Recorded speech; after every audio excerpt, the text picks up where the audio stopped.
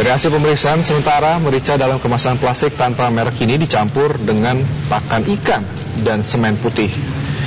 Umumnya merica dalam kemasan plastik tanpa merek ini dijual di sejumlah warung yang dekat dengan pemukiman. Hingga kini, Polsek Cibatu masih melakukan pemeriksaan pada sejumlah saksi dan barang bukti dengan melakukan uji laboratorium.